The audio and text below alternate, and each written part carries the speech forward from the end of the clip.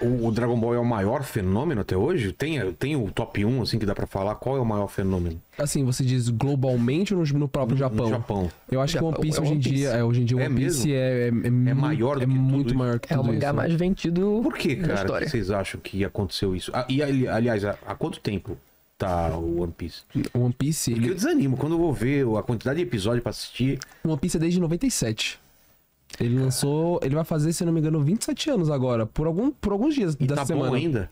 Nossa, tá Continua incrível. bom. É. Tá Na verdade, assim, eu diria que, ah, comparado a algumas fases anteriores de 10 anos atrás, a animação tá, assim, tá. É, é- é- é- é bizarro como eles conseguem fazer uma qualidade tão grande, sabe, pra uma animação semanal. Claro que eles não produzem um por semana. É. Eles produzem com diferentes equipes. Mas é bizarro como a animação tá tão boa pra um anime semanal. E além da, da própria animação, assim, a história pra mim, se você pega no próprio mangá, é para mim é o ápice do One Piece. É mesmo? É o ponto máximo, assim, de, de coisa. Porque pode parecer a piada que o One Piece é eterno e tudo mais, mas eu sinto que está na reta final, É finalmente. mesmo? Ele quer ser o rei dos piratas. Ele quer e ser vai, o- vai acabar quando ele conseguir ou, Vai. ou, O- ou morrer. Não, o Oda já falou que assim que ele chegar no One Piece e mostrar qual que é o tesouro, qual que é o One Piece, acabou o mangá. Sério? Ele falou que vai acabar assim. E pra mim é sensacional. Pô. Vai E- ser meio que isso. E ele já falou que não vai ter continuação nem nada. Acabou, acabou. E o que é mais maravilhoso ainda. Mais, mais 10 anos pra, pra chegar no, no- Eu, eu acho que mais dois. É mesmo? Não, eu, acho que vai mais isso? um pouquinho. Eu acho que vai uns dois, três. Eu sinto isso. Cara. Porque é tanta coisa assim acontecendo, tipo, acumulando assim de uma Mas vez. é um universo rico pra caramba, então, que ele criou, né? Sim. Total. E ele não esquece. Sério? Então, por exemplo, se ele falou um negócio no capítulo 2, Tem um negócio lá atrás, ele vai buscar. ele vai buscar lá atrás, aí você vai. Ele liga com o que tá aqui na frente e você fala, mano, é por isso que aquilo apare- apareceu aquilo ali. E, meu, é. é Vamos lá, bizarro. quem não assiste One Piece, vamos dar uma sinopse do que é a parada. Porque saiu, não sei se é uma, é uma boa indicar o, o- a série do, do Netflix ou não, pra quem nunca assistiu. É melhor ver primeiro o anime Eu- ou ler o mangá. Eu particularmente indico. É? Eu falo assim, tem amigos meus que viraram pra mim e falaram assim, ai, eu quero muito ver One Piece porque você fala tão bem, você gosta tanto que a gente quer ver, só que a gente não quer ver mil episódios. Eu falei, meu, dá uma chance pra série. Vê se você gosta do universo e tudo mais, porque a série ela é muito bem Ah, adaptada. é? Ela, ela, ela, ela é realmente representa bem? representa bem. Tem assim, tem, tem uma coisinha ou outra que eu mudaria, porque eu sinto que isso impacta mais lá na frente, mas no geral como todo, pra mim é o meu live action de anime favorito. Pô. E ele dá uma boa introdução porque ele te apresenta os personagens, te apresenta a história dos personagens, só que de uma maneira mais dinâmica, mais rápido, não tem toda aquela enrolação. Mas não é uma enrolação ruim, é porque é da... o começo de One Piece é datado pra época dele. Tanto que você compara com os Fosse animes. feito hoje já ia ser feito diferente também. É Tanto que vai ter o remake de One Piece agora, do começo do One Piece, que Sei. é o The, The One Piece, se não me engano. E eu sinto que. Eu, eu acho que eles vão dar uma cortada e uma enxugada nessa parte que é mais enrolação pra você pegar o público novo. Pra você trair gente pra obra. Sim, você vê, ó, pra você que não quer assistir Tá. mil e tantos episódios, É caso. que não quer. É que Não, eu, não é eu tem- já tem tô, eu, eu tenho menos tempo na minha frente do que, do que já passou. Então eu não tenho tanto tempo assim, né? Não, tipo, super entendo. Mas é. Essa vai sair uma nova versão, né? Eles vão refazer o anime de One Piece. Porra, então já E- começar por esse, então. E tudo indica que realmente vai ser algo bem mais compilado, bem mais enxugado pra conseguir cada vez conseguir absorver um público mais novo. Né? Um público novo, não um público mais novo, um público novo. Que vai, quer chegar e quer ver qual é a parada. Quer ver, mas não tem condição de ver mil episódios, ainda mais considerando que os primeiros episódios têm uma animação mais antiga, né? É. Então eles renovam todo o visual, compilam as informações de uma forma que seja mais fácil do pessoal consumir, de conseguir entrar mais gente nesse universo, e ao invés de mil, talvez você só tenha que assistir 300. Já é um, já é um ganho. Uma... Pô, você já bom ganhou pra adianto. caraca. É um excelente adianto. Mas e aí? O, o que, que é One Piece?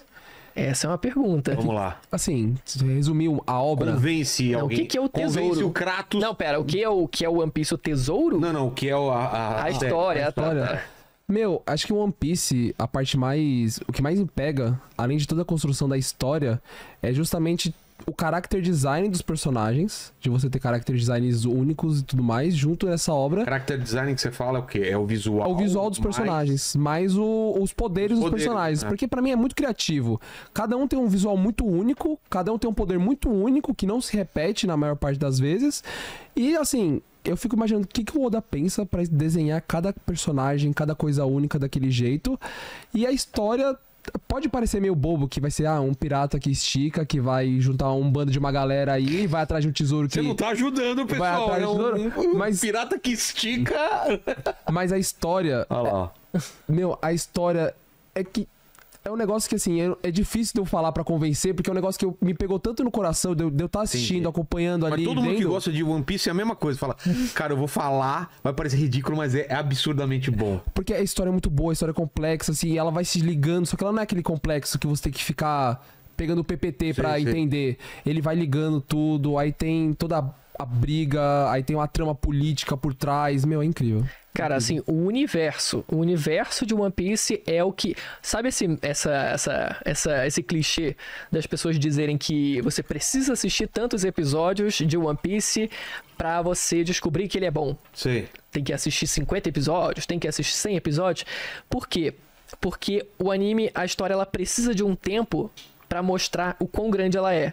No começo realmente existe um ritmo um pouco mais lento, né? Você não Pra- tem noção também desse tamanho. é, assim, é, no começo, assim, é tudo muito simples. Você pode assistir o começo e você vai entender qual é a dinâmica de forma geral, assim, do- de como é que é a pegada, como é que é a linguagem, tudo.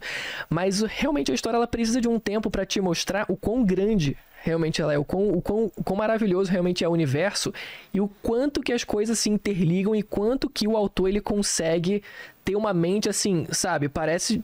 Cara, ele tem esse navio gigantesco que é a obra dele, mas que ele não, não consegue, ele não perde, sabe? O, o fio de conseguir conduzir tudo isso. É, é bizarro que ele É realmente- bizarro como ele consegue.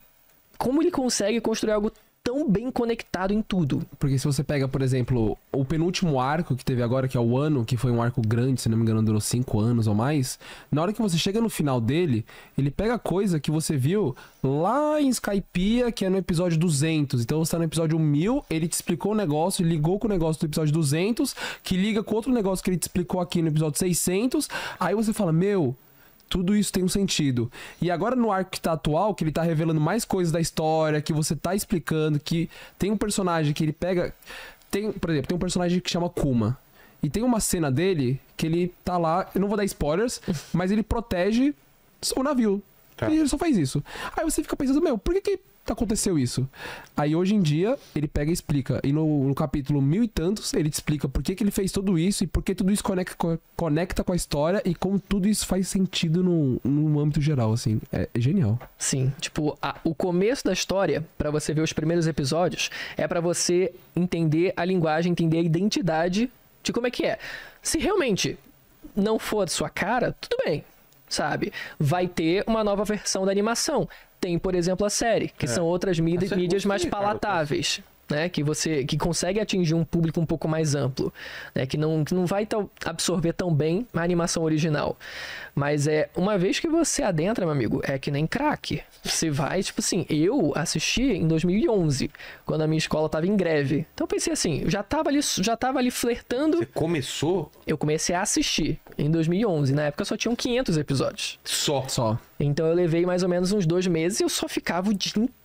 Eram 20 episódios no dia, Nossa. no sofá, no computador e vidrado, Vidrado. naquilo, vendo. E cara, depois que eu terminei, eu virei um testemunha, sabe? Um testemunha de Jeová. Eu precisava falar pra todo mundo, sabe? Porque não tem como. É um universo tão maravilhoso que uma vez que você entra nele. Cara, é a melhor coisa. E, e o pior que você falou é realmente verdade, que se a gente pega com outras pessoas que gostam muito de One Piece, é um sentimento muito mútuo da... Por exemplo, tem, eu tenho amigos, eu tenho amigos que a gente tem um grupo pra ficar falando semanalmente sobre o capítulo de One Piece. Tanto que tenho, tô com, com a minha amiga aqui, a, a Bianca, e a gente tava indo pro, pro Anime Friends, tinha um amigo nosso, eu virei pra ele e falei assim, mano, você leu o capítulo de One Piece da semana? Ele, eu li o capítulo de One Piece, daí a gente fica tipo, meu Deus, olha o que aconteceu, o que, que aconteceu agora, qual que vai ser a teoria? É um negócio, é muito... É realmente isso que falou, é... é- não sei, é uma chama ardente assim dentro da gente. não- É um negócio muito louco, é um sentimento doido. Cara, eu preciso, ou assistir. É, Tanta tipo assim, o, esse ano eu diria que 2000, na verdade 2023, eu acho que foi assim, 2023, 2024, principalmente assim, é um ano muito bom para eu diria que talvez a última oportunidade pra você começar a assistir One Piece de fato, sabe? Porque conseguindo assistir tudo, todos os episódios que lançaram até hoje, no tempo de vocês tudo bem. Mas quando esse negócio realmente estiver no final, e a gente tiver Vai ser tendo uma comoção. as grandes revelações do que realmente é o One Piece, sabe? Do Luffy realmente virando o rei dos piratas, vai ser um negócio que, de- se você pegar pra assistir ou ler depois, nunca vai ter o mesmo impacto. Ah, você Eu vai acho tomar que- spoiler, é, né? Não tem jeito. Você vai tomar spoiler. Então, se você realmente pegar pra assistir agora, eu One acho que é a última o quê? oportunidade. O, o tesouro, o que que é? Ninguém, Ninguém tem sabe. teorias. Tem teorias, Existem tem gente que brinca teorias. que fala que são os amigos que a gente fez pelo caminho. Ah, não, que é o amor, que é, a Vai ser uma jornada. decepção absurda. Mas, mas tem teorias que falam que o One Piece pode ser, porque um o One Piece, um pedaço. É. Tem gente que fala que é uma peça, então é um, um saque. Porque o saque tem uma representação dentro da obra. Ah, é? É, tem tanto que tem uma música que chama Binkson no Sake, que tem o Sake tem um, um sentimento forte de você pegar e brindar o Sake com aquele seu companheiro. Então tem gente que fala que o One Piece é só tipo um copo aqui, que é uma pecinha de Sake e uma garrafa de Sake. Esse é o One Piece. E você? Tem uma que história, essa, eu, essa eu acho, na verdade, essa eu acho que é uma das minhas favoritas, sabe? Porque tem uma música muito famosa que, que os personagens cantam, que é chamado Sake de Binks. Então, essa música que foi tão disseminada ao longo da história, talvez seja uma brincadeira do Oda dizendo só, talvez One Piece seja esse saque, essa bebida, que na verdade é o motivo para fazer com que as pessoas sentem numa mesa e possam brindar e possam festejar.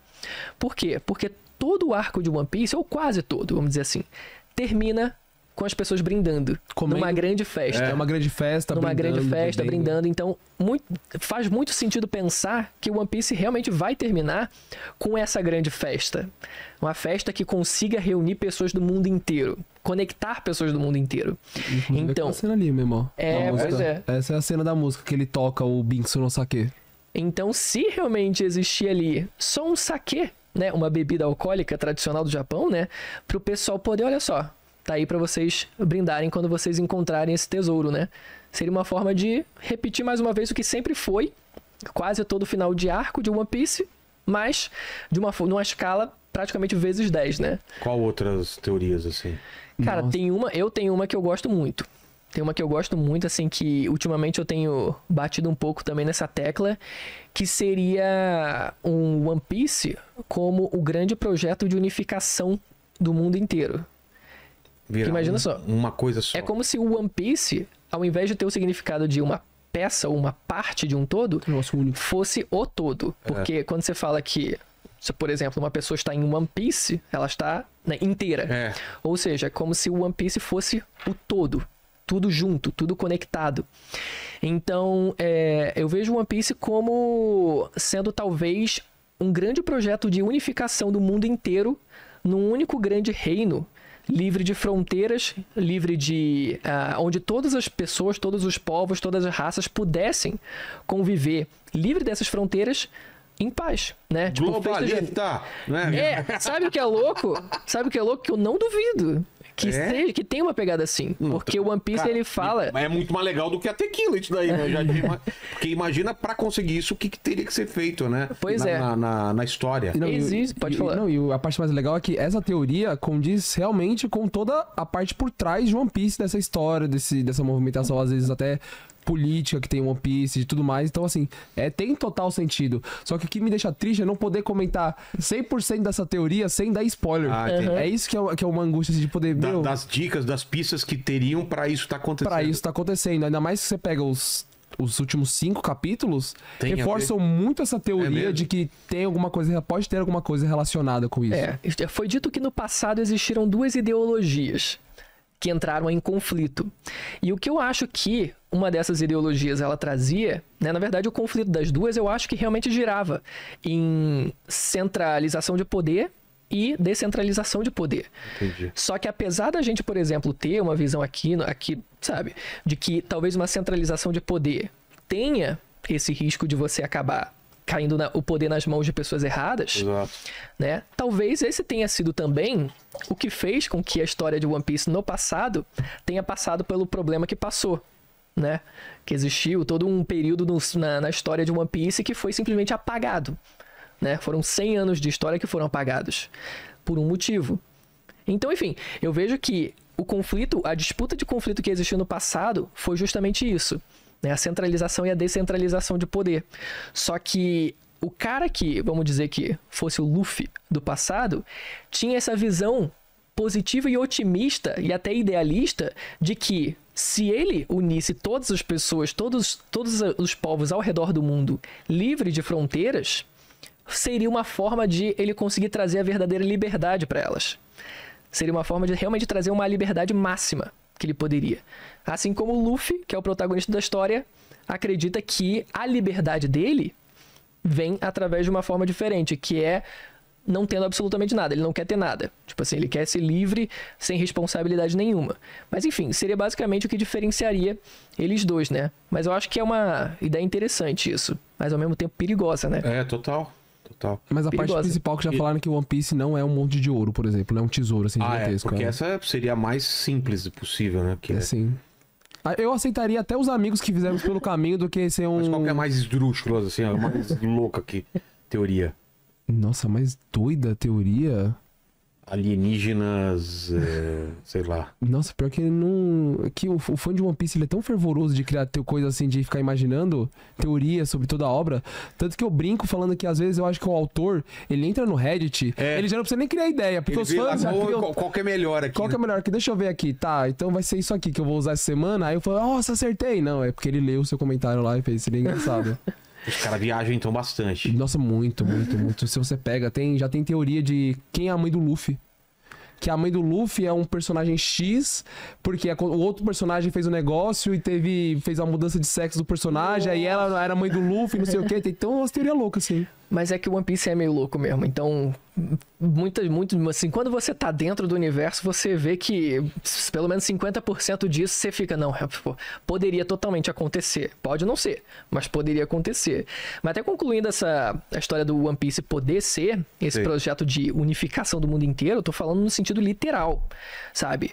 Tipo, continentes inteiros sendo trazidos pra formar um único É. pedaço A de terra. Pangeia? Basicamente. Basicamente. Que doideira, cara. Sabe por quê? Tem quê? algumas dicas, assim, que a história dá pra gente. Existe um castelo em One Piece, né? Que hoje é pertencente ao governo que controla boa parte do mundo, que é o governo mundial, que, o chamado, que é chamado de Castelo Pangeia. E o autor ele já disse: olha, sim, é inspirado no continente Pangeia, mas o motivo disso eu vou deixar pra depois. Pra explicar depois, né? Não vou dizer nada. Cara. E outra, exi- existiu no passado, por exemplo, uma raça de gigantes extremamente colossais que eles foram conhecidos por arrastarem continentes. Então você pensa, pô, por que, que eles arrastaram esses continentes? Sim. Por um motivo. Mas acho que o principal motivo que faz essa teoria ganhar força é que, se você se basear na história do Japão, faz muito sentido. O Japão ele passou por esse processo de unificação É. quando ele. Eu tava até vendo aquela série. Eu e a Paula a gente tava vendo a série do. Da Era dos Samurais da Netflix. Ou a Era dos Samurais. Que conta esse, esse processo de unificação do Japão. Onde tinham diversos clãs extremamente poderosos disputando poder, territórios, né? Durante cerca de 100 anos. Olha só, é a mesma coisa que One Piece. Por, por volta de 100 anos. Até que, enfim, um deles conseguiu tomar realmente o poder e unificar todo o país. Unificar, obviamente, né, em cima de sangue, Claro. em cima de guerra. Mas, querendo ou não, o resultado disso foi uma estabilidade para o país. Né? A visão, pelo menos, que a série passa, né, que eu estou me baseando, é uma visão positiva. De que o, o processo de unificação do Japão foi algo positivo para trazer estabilidade política, esta- trazer estabilidade eh, econômica também, enfim, como um todo, né? Para parar esse banho de sangue que estava acontecendo. Então, se a gente pega isso como exemplo, o caso do próprio Japão e traz para One Piece, que é feito por um autor japonês, faz sentido você pensar que ele também tenha essa visão relativamente otimista e positiva de que e se isso acontecesse no mundo inteiro, sabe? Uma visão idealista até. Sim. E se isso acontecesse no mundo inteiro? E talvez ele queira trazer esse ideal para o universo de One Piece. Por isso que talvez o One Piece seja justamente isso, né? O todo. Pode ser, pode ser.